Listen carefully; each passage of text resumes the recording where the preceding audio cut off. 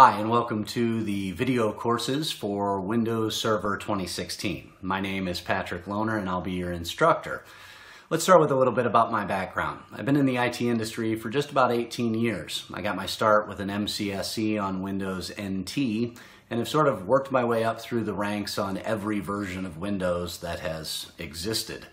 Uh, I began my career in a position of network administration at a training center where I handled just about everything uh, imaging of PCs, hardware and software troubleshooting in classroom environments, as well as uh, for the business side of things.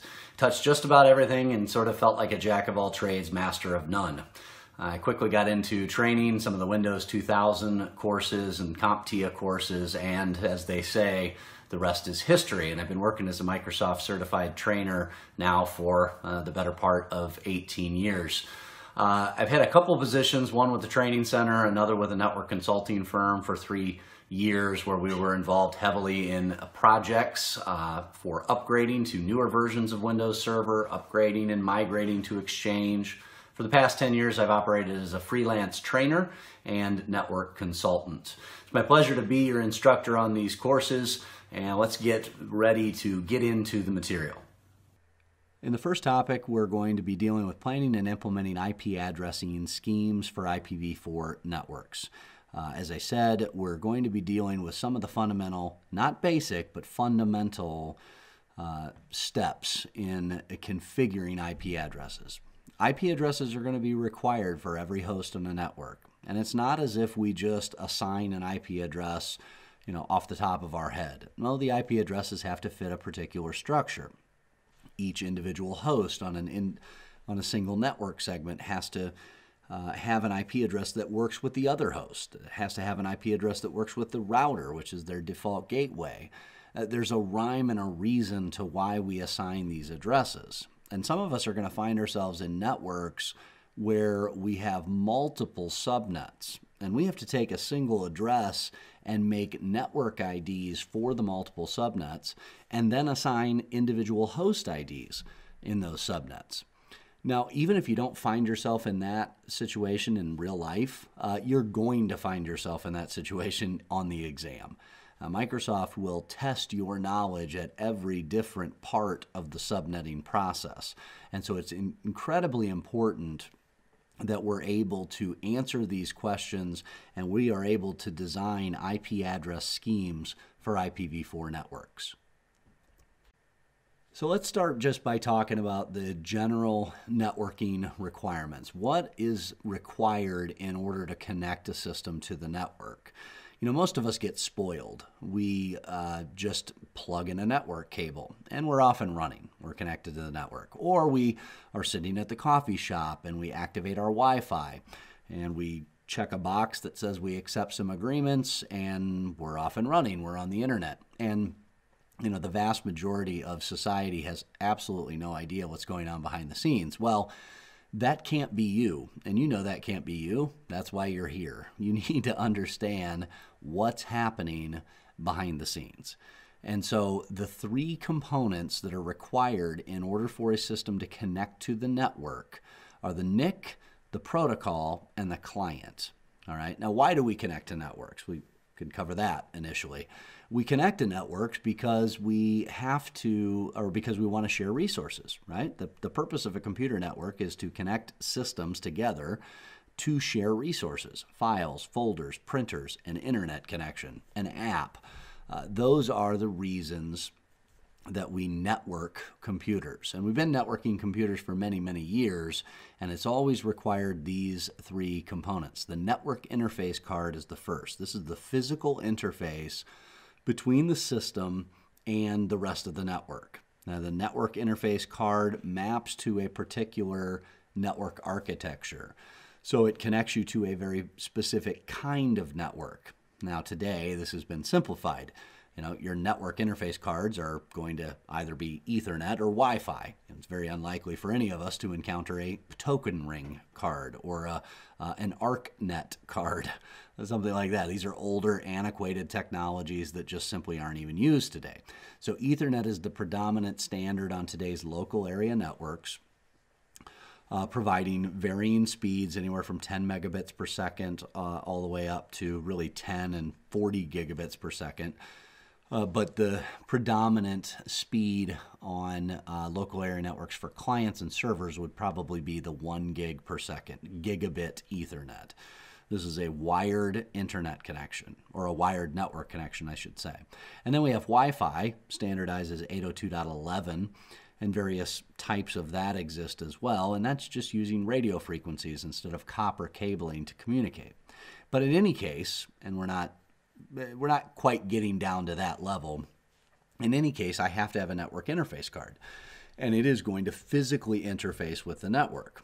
But beyond that, we have to have a network protocol. And the network protocol functions very much like a language. Okay, so if you and I are, uh, you're listening to me and I'm speaking English and you understand English, then we can communicate with one another. However, if the only language you spoke was French and the only language I spoke was English, then we'd have a problem. We wouldn't be able to communicate. And that's the way computer systems are. They have to have a common network protocol in order to be able to communicate with one another.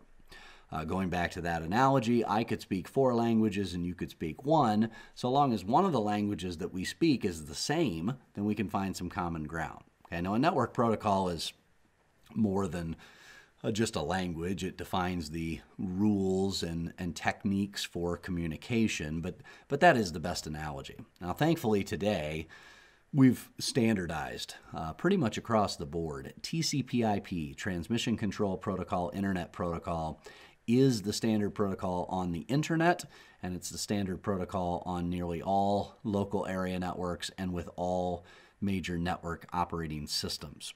TCP/IP is a routable network protocol that uses IP addresses to identify individual nodes. So that's one of the parts of the protocol, a unique address for the individual systems so that they can communicate with one another. And we'll get far more into those addresses here in just a bit. Uh, you, the third component that you need is a network client.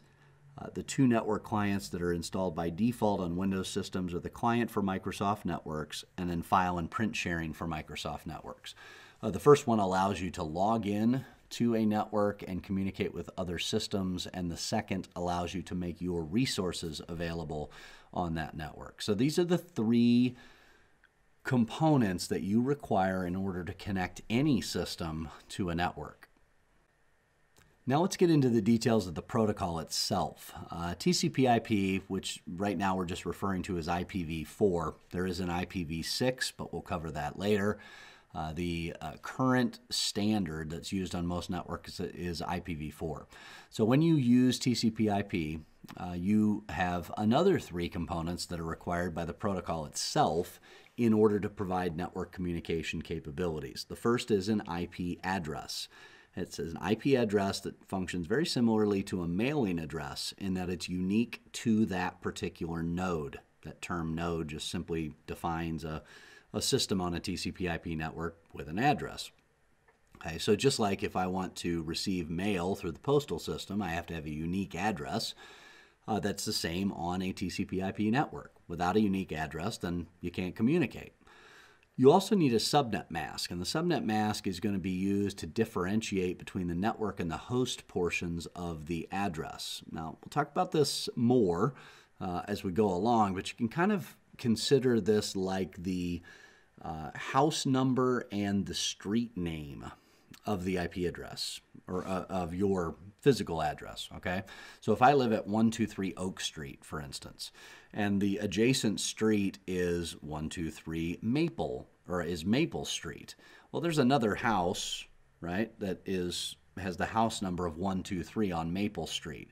But the postal worker doesn't have any problem delivering mail because it's going, there's two parts to the address. There's the street name, and then there's the house number. And that's the same way that a network uh, address is. There's a network ID, aka the street name, uh, or could be called the street name, I should say. And then there is the house number, which is your individual host ID. Right? It's the subnet mask that's the component that is used to differentiate between those two parts of the address. Then you have a default gateway. And the default gateway is your ability to route packets destined for remote network segments. So technically, are you required to have a default gateway? Well, no. I mean, in reality, you need an IP address and a subnet mask. You don't have to have a default gateway. But the vast majority of us will want to communicate with the internet. Uh, in many network environments and even in local area networks, you'll have multiple subnets. So you'll have a, a, system that has to communicate with systems off of its local network segment, right? In the, the postal system, I want to send mail uh, to my uh, people potentially on my own street, but I also want to send the mail to people in other cities and maybe even in other countries. In the postal system, my default gateway is my mailbox because the postal worker is going to come and pick up the mail. In a TCP IP network, my default gateway is my router. And so I send packets to the router, and then the router is going to worry about where those packets go beyond that to get them to their ultimate destination. All right, so just like uh, in the regular mail system in TCP/IP, I need that way to get packets off of my local network segment, and that's going to be the default gateway. All right, so let's focus in on this IPv4 address because this is incredibly important. IPv4 addresses are 32 bit binary numbers. Uh, the binary numbering system, as we will discuss, uh, and as you may already be aware, is a base 2 numbering system. Okay, that means it only has two values. So decimal as a numbering system has 10 values. Those values are 0 through 9. In the binary numbering system, you only have two, 0 or 1. Okay, so a 32-bit binary number would look like uh, what we see here. Now, thankfully, because we're humans, uh, the developers of TCP/IP and the various operating systems decided that that would be a little bit cumbersome, making us write out 32 zeros and ones. We thank them for that. Uh, so we get to write IPv4 addresses in what's called dotted decimal notation. So it's a 32 bit number, but it's divided into four groups of eight bits or bytes, and those bytes are separated by periods. So we get numbers like 192.168.1.200 uh, 172.16.123.100, so on and so forth. All right, but each of those uh, digits that are separated by the periods represent a byte, eight binary bits. And that's important because we it, we will understand, if you don't already understand, that a byte only has certain possible values. So the minimum value of a byte is all zeros, which equates to the decimal number zero. The maximum value of a byte is all ones, and that equates to the decimal number of 255. All right, so you can never have a number in an IP address that is greater than 255. So 127.0.0.1 would be a valid IP address. 127.255.256.255 would be an invalid address. And it's just because it includes a number that is not possible in eight binary bits. All right, so 32-bit numbers written in dotted decimal notation. Uh, we that division, and I didn't put this on the slide, but that division is referred to as an octet. Okay, so you'll hear me say in the first octet, in the second octet, uh, and so on and so forth. And so when we refer to octet, we're just talking about that grouping of eight bits. The first octet would be the first group, the second octet, the second group, so on and so forth. Now, when we start digging in, we need to understand that the IPv4 address is actually comprised of two parts. And we've already discussed this a bit the network ID and the host ID, similar to the uh, house number and street name. So the host ID would be like the house number, the network ID would be like the street name. The network ID identifies the network segment that the node resides upon.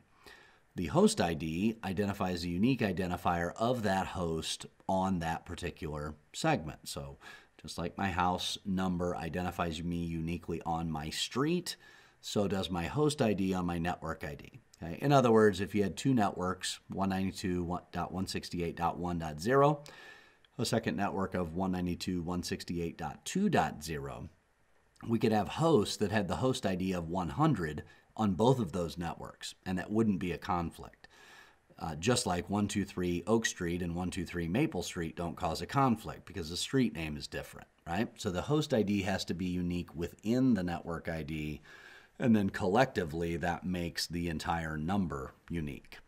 So it does mean, though, that we need another component. In street addresses, we, we know there's the number and then there's the name, but in the IP address, it's, it's all part of one 32 bit number. So, how do we tell the difference? How do we know where the network ID stops and the host ID starts? We know based on the subnet mask.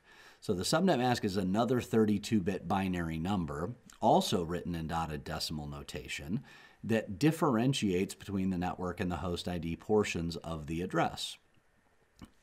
The subnet mask is a little different, though, in that it consists of continuous ones followed by continuous zeros. So the subnet mask always starts out with ones, but once the ones stop and the zeros start, the ones never come back. Okay? And, and we'll discuss this a little bit uh, later, but uh, you know, in an IP address, you can have any valid value from 0 to 255 because that's those are the values that you have in an 8-bit number. That's not the case in a subnet mask. In a subnet mask, there are only certain possible uh, legitimate values 128, 192, 224, 240, 248, 252, 254, and 255. Okay, and we and that is because those are the values that we get with continuous ones. To get any values other than that, we would have to have you know uh, things like one one one zero zero one one one. You'd have to start uh, starting and or stopping and starting uh, the the ones. Okay, and you can't do that in a subnet mask. So continuous ones followed by continuous zeros. Uh, essentially, when the ones stop, that is when the mask stops, and that is going to be uh, pointing out the network portion of the address, but we'll, we'll get into that more when we can see it a little bit better. Now, these can be expressed and written in dotted decimal notation, and they typically are, especially in the Windows operating system. They can also, though, be expressed in CIDR notation. CIDR is classless interdomain routing, and it is a, a mechanism through which we can specify the number of bits in the subnet mask that are set to 1. Okay, so you might see an address listed as 192.168.1.100 slash 24. Okay, and that 24 represents the number of bits out of 32 in the mask that are set to 1. Okay, so it's just another way of writing out the subnet mask. It's actually a, an easier, a simpler way. The third component that's required is going to be the default gateway. As we said, this isn't necessary uh, for general communication, but it's necessary to communicate off the local network segment. Your typical network clients are connected to a single network segment, and they're only able to communicate with their own subnet. So if they try to communicate off their own off that local subnet, they have no idea how to get the packets to that location. So they require a network router. A network router is a device that is connected to multiple uh, segments. Now, the network router is not connected to every segment in the world, of course, uh, but routers are strung together uh, through the use of ISPs to get packets to their ultimate destination. A couple keys about the default gateway, which are really important for us to understand, is that if the default gateway is my way off my local network segment, and I don't have the ability as a network host to communicate with remote segments without a router, then it would stand to reason that the default gateway has to have an IP address on the same network segment, aka subnet, uh, for proper communication. This is going to be really key when we start troubleshooting, okay, because we're going to look for the presence of a default gateway on a client that's, say, having trouble communicating with remote networks. But not only do we need the gateway to be present, but we need it to be accurate. so, you know, if my network is 192.168.1 and my gateway is on the 192.168.2 network, then I'm not going to be able to communicate. I can't, you, know, and, and I think you, you probably get the idea. So it's got to be on the local subnet, and it's often the first or last address in the range 192.168.1.1 or 1.254. But the gateway is actually a router. Uh, or better said, it's an address that's assigned to a network interface on a router. But it's configured on the clients, and the clients know that when they have any network packets that are destined for IP addresses that reside on a remote subnet, they must forward those packets to their default gateway. Now, originally, when IPv4 was introduced, uh, the Internet uh, Assigned Names and Numbers Association, IANA, organized IPv4 addresses into classes. And this is referred to as the classful system. Each of these uh, classes would have a default subnet mask. Now, this is no longer used technically. Uh, it was a very wasteful system, and so we've switched to classless routing, hence the uh, old CIDR or classless interdomain routing uh, syntax. Okay, but it's consistently referenced. So, uh, you know, when we get in, we hit, we still have to deal with it because when we get into subnetting, you know, we'll say things like, okay, we'll start out with a Class C address and then create subnets, or start out with a Class A address and then create subnets. Well, there are no Class A addresses anymore, but we, eh, again, it, the terminology is still out there, so it's important for you to understand. And it's not just a historical thing, it's just the way that people, uh, network admins, still communicate. Okay. So the class of the address was defined by the first octet, the value in the first octet. And then the class defined the default mask. Well, uh, because the subnet mask differentiates between the network ID and the host ID, it determines how many bits are available for network IDs and how many bits are available for host IDs. Okay? The more bits you have available, the more potential IDs, right? And so that's where uh, these classes come into play. So class A, the first octet would be between 0 and, or excuse me, 1 and 127. And the default mask is an 8-bit mask, 255000. That means you only have the first 8 bits for network IDs. So it's it's 2 to the 8th, uh, which would technically be 256. However, we've got some reserve characters in there, and we won't get into all of this. So let's just, you know, take my word for it. I mean, basically, you can't modify the first bit. All right, so it's technically 2 to the 7th and it's minus 2 uh, because you can't use all zeros and all ones. So 126, 126 uh, possible network Class A networks. Not very many, right? This is in the entire world based on the IPv4 address space.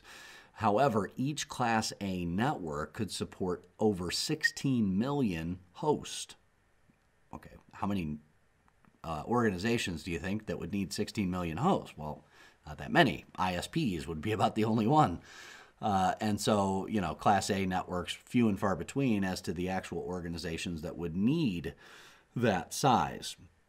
This doesn't mean these can't be subdivided, so we'll get into that later. That's called subnetting. Class B, 128 to 191 in the first octet. We need to recognize that as a Class B address. It's got a 16 bit default mask, 255 25500, a possibility of 16,384 networks, and on each of those networks, we could have up to 65,534 hosts. Class C, the first octet is 192 to 223. Uh, default mask of 24 bits, 255, 255, 2550. So two, a little over 2 million of these networks, but on each network you could have a maximum number of 254 hosts. Okay, so as I said, the classful system is not used anymore because it was wasteful. We can really quickly see how it was wasteful. Uh, IPv4 was originally introduced with the goal of assigning public IP addresses to every system that was connected to the internet. So an organization would call up an ISP or a registrar and uh, want a public address space, and they would say something like, "Okay, well, we've got uh, 650 systems. Okay, and we look at this table and we say, well, the only way that we can give you 650 public addresses would be either to give you three Class C's or a Class B. Well, the problem with giving you three Class C addresses is it clogs the internet routing tables. Uh, the, these are the tables that routers use to make decisions as to where to forward packets. So you'd have three IDs all pointed at the same place, and it cause, causes clogging. The alternative, though, would be to give you a Class B address. When you only needed 650 addresses, you would waste nearly 65,000 addresses. Okay, so the classful system works on those decimal points in the subnet mask. It goes from 8 bits to 16 bits to 24 bits, and so therefore it was it was very wasteful. Uh, that's why we're not using it anymore. Having said that, though, uh, and as I said before, we've got to be able to look at the first octet, recognize the class, recognize what the default mask would be. That's going to be important from a subnetting perspective. Now, we've mentioned subnets a few times. Exactly what is a subnet? Well, a subnet or subnetwork is simply a smaller network segment on a larger TCP IP LAN. And each subnet is uniquely identified by a network ID. You can use the term network segment if you want. It, it really means the, the same thing. Uh, within a subnet, all the hosts are going to share the same network ID and they're all going to share the same default gateway because the default gateway is going to be the IP address of the router that's connected to that subnet. All right, so at least one router on the LAN has an interface that's assigned an address for the subnet. It's physically connected. It's the way for those hosts to get off of that subnet. Uh, essentially, what some organizations are going to have to do is begin with a single classful IP address and then create subnet ranges. Now, some organizations that you find yourself dealing with will just have a single network segment. Okay, so I have you know a small organization maybe has 50 clients, uh, for instance, where I started. We just had one subnet. Uh, there wasn't a need for multiple subnets. We had an internet connection. It came into a router. That router had one interface. It interfaced with network switches. All the clients connected to the network switches and that was it. Everybody was on the same uh, same subnet. There was because we just didn't have that many systems. But some organizations are going to have multiple physical segments, multiple router interfaces, and each of those interfaces and segments has to have a unique ID. So, what we typically do is we start with one address and we break it into multiple subnet IDs. And that is the concept of subnetting. So when we talk about creating subnets, uh, we're referring to the subnetting method. And that is the method that an organization is going to use to take a, a single network ID and then divide it into multiple network IDs. And this can, can be a confusing process, okay? And it's confusing some in some ways just because of terminology, in other ways it's confusing just because we have to use binary math. No, we've just seen, uh, you know, binary uh, computation and understanding how the zeros and ones equate to decimal numbers. We know that the subnet mask differentiates between the network ID portion and the host ID portion of an IPv4 address. So the process of creating subnets is, is consisting of using bits that were formerly associated with the host ID and now using them as a network ID. Okay. And it, it, we do that in order to create a unique, what's called a subnet ID. So we're technically adding on to the original network ID, and we're now including more bits. Well, those individual bits that are included now are called the subnet ID. All right, so let's let's just look at an example. For instance, a 10.000 uh, slash 8 network uses 8 bits for the network ID, and then that leaves 24 bits out of the 32 for the host ID. So the process of subnetting would borrow bits from the host portion to create a subnet ID. And so let's just say we borrow 3 bits. Right, so we in other words, when we say borrowing bits, we're talking about extending the subnet uh, mask three bits. So now it's 10000 slash 11. Okay, now that gives IDs for up to eight subnets, and it still leaves 21 subnets for the, uh, or 21 bits, excuse me, for the host ID. Okay, so we're 11 and 21 equals 32, right? Now, you might be wondering how does that give IDs for up to eight subnets? We will discuss that. There's a mathematical formula for determining the number of subnets that have been created.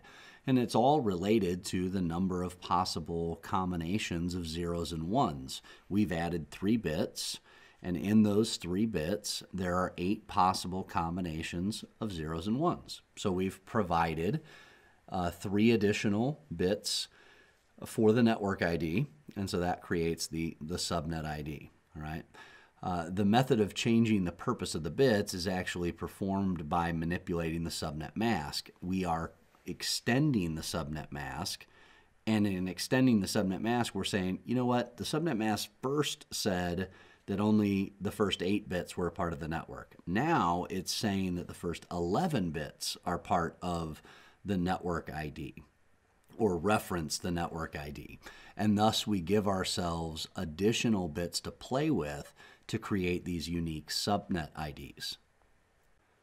Now let's walk through the actual process for subnet creation and then of course we're going to take a look at this because without taking a look at it it's mumbo jumbo for lack of a better term. All right, so the process begins with starting with a classful network ID and its subnet mask uh, like we just did. A 10000 network is a Class A network, and its default subnet mask is an 8 bit subnet mask.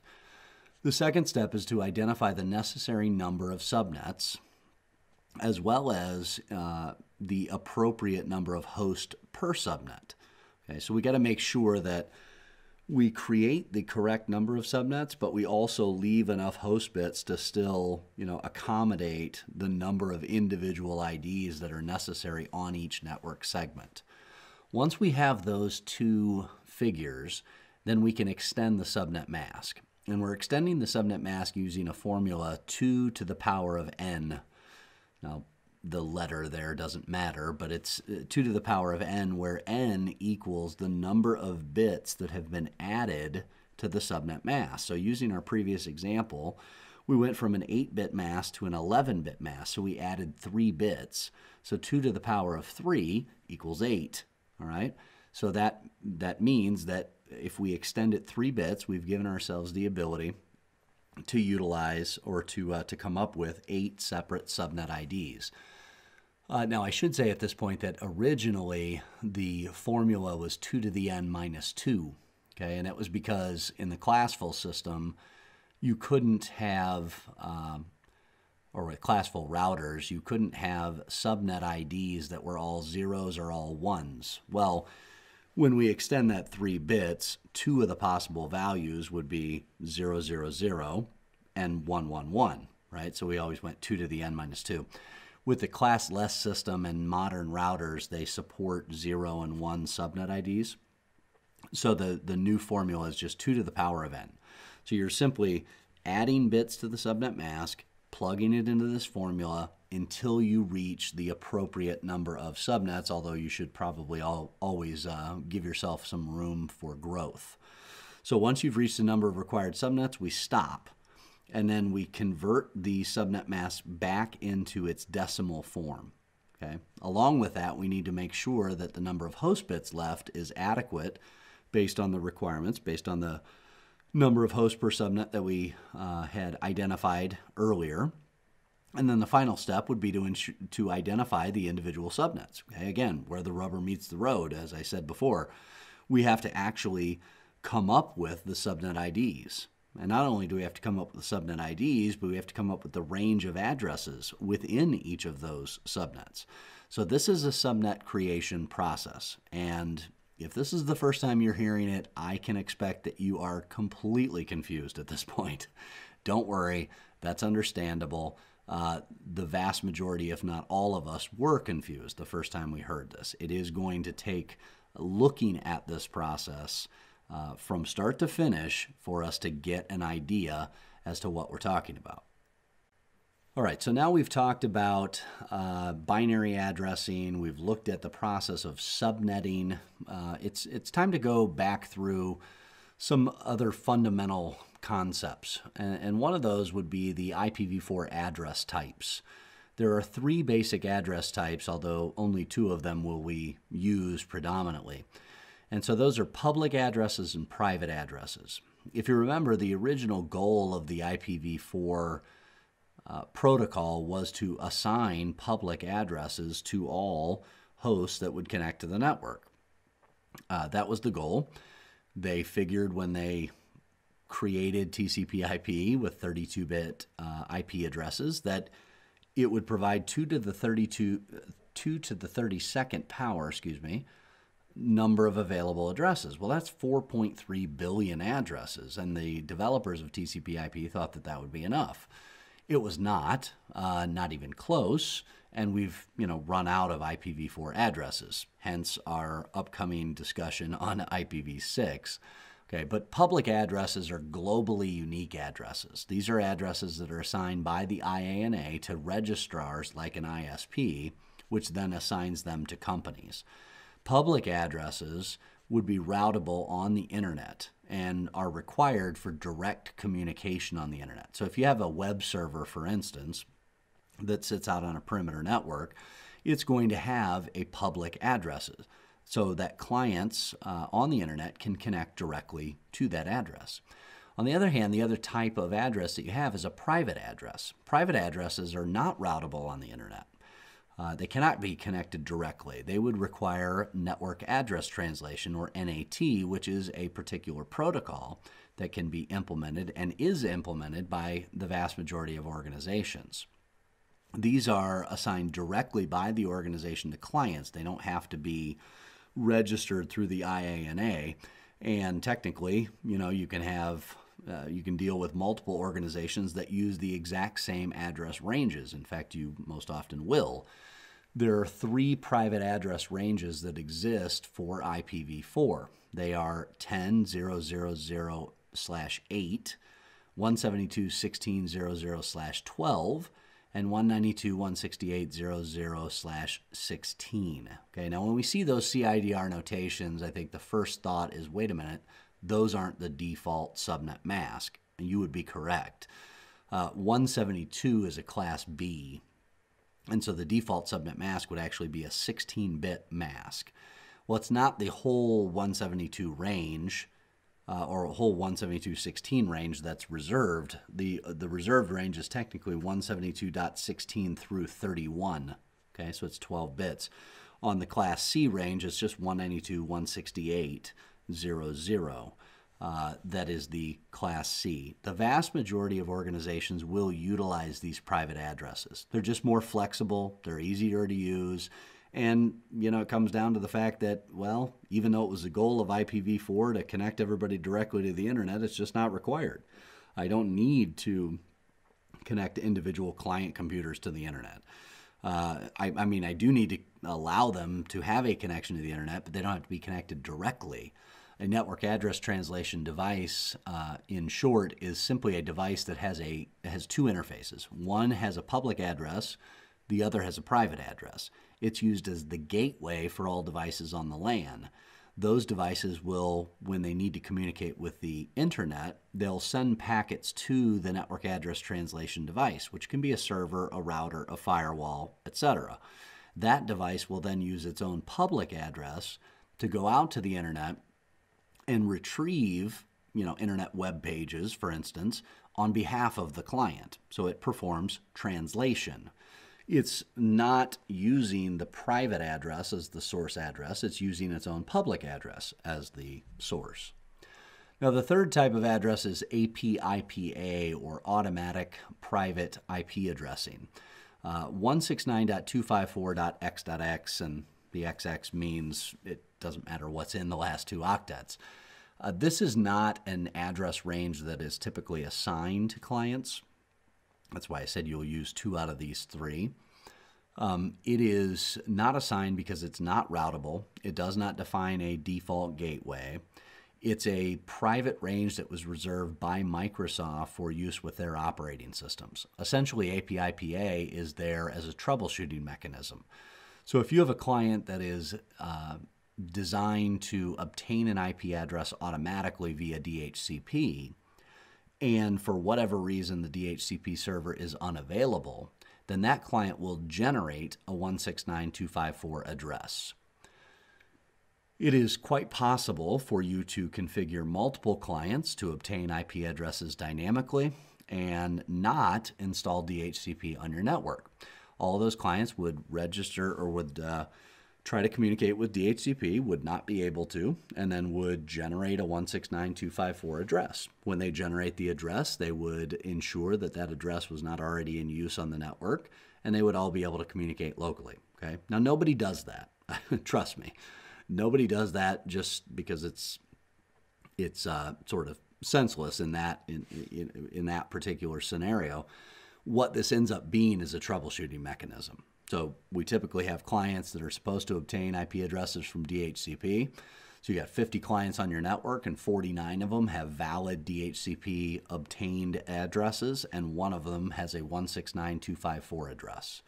And that one is unable to communicate with anybody else on the network. And so when we go to a machine and we see a 169254 address, it immediately tells us that there's a problem.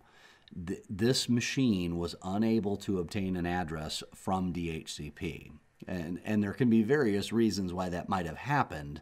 The point is that it it did happen. All right. And so it's an automatic giveaway. And I'm telling you that because in real life, if you see this or the exam, you see this, if you ever see a 169254 address, it's an automatic indication that this client did not obtain a valid address from DHCP. So we know exactly where to look to start troubleshooting uh, the situation. All right, so there are three address types, but in reality, public and private addresses are the choices. Public addresses are used for machines that need to be directly accessible from the internet, of which most organizations are only going to have one or maybe a couple, and private address ranges are used for all other systems. There are also a couple of different types of IPv4 networks that we're going to encounter simple and complex. Now, these are just general categories but a simple network will use classful private IP addressing for internal host. Okay? Uh, we use the term classful because we mean that subnet masks are going to be the same for all subnets, and the subnet masks are going to stop on the decimal points. When subnet masks stop on the decimal points, it makes life a whole lot easier for us because we don't have to do binary math, essentially. Uh, we know that if an address is 192.168.1.200 and it's got a 255.255.255.0 subnet mask, then we know the first three octets are the network ID and the last octet is the host ID. I don't have to convert into binary or do any crazy stuff. I just know that's the case because the subnet mask is stopping on the decimal points. It's also much simpler when all of the subnets have the same length of subnet mask. When you start getting into more complex network scenarios, you'll be using classful or classless, excuse me, addressing. And you could be using private or public, although uh, the private addressing is still far more common. The key here, though, is that subnet masks are created based on the required number of subnets and host. So we've extended the subnet mask, we've performed this process of subnetting, but we don't necessarily have to stop the mask on the decimal points. And we don't have to make every subnet mask the same length. You're going to have certain subnets that only need two addresses, like a subnet that connects two routers, for instance. And so this is referred to as VLSM or variable length subnet masking. And it's advantageous when there are huge differences that exist between subnets in relation to the number of hosts. You can almost guarantee you're going to see these kinds of scenarios uh, both in real life as well as on the exam. So we need to understand exactly how this uh, process works.